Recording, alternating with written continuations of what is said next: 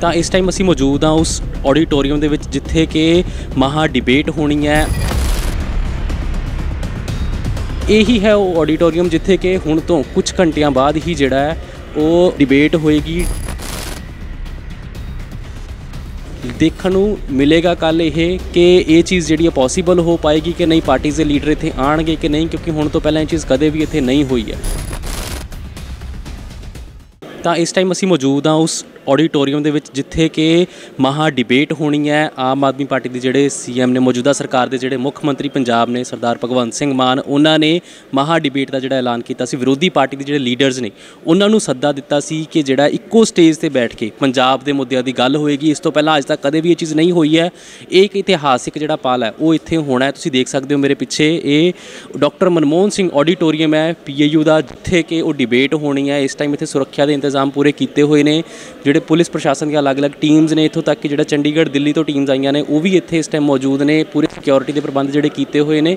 ਤੇ ਇਹੀ ਹੈ ਉਹ ਆਡੀਟੋਰੀਅਮ ਜਿੱਥੇ ਕਿ ਹੁਣ ਤੋਂ ਕੁਝ ਘੰਟਿਆਂ ਬਾਅਦ ਹੀ ਜਿਹੜਾ ਹੈ ਉਹ ਡਿਬੇਟ ਹੋਏਗੀ। ਡਿਬੇਟ ਦੇ ਵਿੱਚ ਜਿਹੜਾ ਹੈ, ਕਿਉਂਕਿ ਹਜੇ ਤੱਕ ਕਿਸੇ ਵੀ ਪਾਰਟੀ ਵੱਲੋਂ ਜਿਹੜਾ ਹੈ ਇਹ ਗੱਲ ਨਹੀਂ ਕਹੀ ਗਈ ਹੈ। ਕਿਸੇ ਵੀ ਪਾਰਟੀ ਵੱਲੋਂ ਖੁੱਲ ਕੇ ਨਾ ਹਾਮੀ ਭਰੀ ਗਈ ਹੈ ਤੇ ਨਾ ਹੀ ਨਾ ਕੀਤੀ ਗਈ ਹੈ।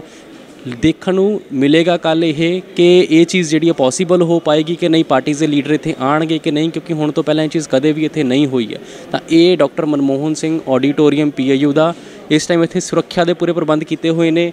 ਅਲੱਗ-ਅਲੱਗ ਟੀਮਸ ਆਈਆਂ ਹੋਈਆਂ ਨੇ। ਬੰਬ ਸਕੁਆਡ ਦੀ ਟੀਮ ਇੱਥੇ ਮੌਜੂਦ ਹੈ। ਐਂਬੂਲੈਂਸ ਇੱਥੇ ਮੌਜੂਦ ਹੈ। ਫਾਇਰ ਬ੍ਰਿਗੇਡ ਮੌਜੂਦ ਹੈ। ਇੱਥੇ ਇਸੇ ਦੇ ਨਾਲ ਹੀ ਹੋਰ ਐਂਟੀ ਟੈਰਰਿਸਟ ਜਿਹੜੀਆਂ ਟੀਮਸ ਨੇ, ਉਹ ਵੀ ਮੌਜੂਦ ਨੇ ਇੱਥੇ। ਤੇ ਤੁਹਾਨੂੰ ਜਿਹੜੀਆਂ ਤਸਵੀਰਾਂ ਦਿਖਾ ਰਹੇ ਆ ਇਹ ਉਸੇ ਆਡੀਟੋਰੀਅਮ ਦੀਆਂ ਤਸਵੀਰਾਂ ਨੇ, ਜਿੱਥੇ ਕਿ ਕੱਲ ਨੂੰ ਇਹ ਡਿਬੇਟ ਹੋਣੀ ਹੈ। ਇਸ ਟਾਈਮ ਤੁਹਾਨੂੰ ਜਿਹੜੀਆਂ ਸਿੱਧੀਆਂ ਤਸਵੀਰਾਂ ਉੱਥੋਂ ਦਿਖਾ ਰਹੇ ਆ ਤਾਂ ਦੇਖਣਾ ਹੋਏਗਾ ਕਿ ਕੀ ਪਾਰਟੀ ਦੇ ਲੀਡਰਸ ਇੱਥੇ ਆਉਂਦੇ ਨੇ ਜਾਂ ਨਹੀਂ ਆਉਂਦੇ, ਕਿਉਂਕਿ ਕਿਸੇ ਵੱਲੋਂ ਖੁੱਲ ਕੇ ਹਾਮੀ ਨਹੀਂ ਭਰੀ ਗਈ, ਕਿਸੇ ਵੱਲੋਂ ਨਾ ਨਹੀਂ ਕੀਤੀ ਗਈ ਪਰ ਜੇ ਇਹ ਚੀਜ਼ ਹੋ ਜਾਂਦੀ ਹੈ, ਤਾਂ ਇਹ ਇੱਕ ਬਹੁਤ ਵੱਡੀ ਚੀਜ਼ ਹੋਏਗੀ ਇਸ ਦੇ ਵਿੱਚ, ਜਿੱਥੇ ਸਾਰੇ ਵਿਰੋਧੀ ਪਾਰਟੀ ਦੇ ਲੀਡਰਸ, ਜਿਹੜੇ ਵੱਡੇ ਵੱਡੇ ਦਿੱਗਜ ਲੀਡਰ ਨੇ ਹੁਣ ਤੱਕ, ਜਿਹੜੇ ਪੰਜਾਬ ਦੇ ਉੱਤੇ ਰਾਜ ਕਰਦੇ ਆਏ ਨੇ, ਚਾਹੇ ਗੱਲ ਕੀਤੀ ਜਾਵੇ ਅਕਾਲੀ ਦਲ ਦੀ, ਬੀਜੇਪੀ ਦੀ ਜਾਂ ਫਿਰ ਕਾਂਗਰਸ ਦੀ, ਤਾਂ ਇਹ ਸਾਰੇ ਲੀਡਰ ਜਿਹੜਾ ਹੈ ਇੱਥੇ ਮੌਜੂਦ ਹੋਣਗੇ ਇੱਕੋ ਸਟੇਜ ਦੇ ਉੱਪਰ, ਜੋ ਕਿ ਹਾਲੇ ਤੱਕ ਗੱਲ ਸਾਹਮਣੇ ਆ ਰਹੀ ਹੈ ਪਰ ਕੀ ਆਉਂਦੇ ਨੇ ਜਾਂ ਨਹੀਂ ਆਉਂਦੀ ਦੇਖਣਾ ਹੋਏਗਾ ਇਹ।